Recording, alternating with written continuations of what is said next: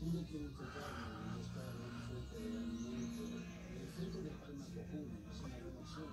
En estos desafíos yo como cualquier insecto, pero también tengo árboles y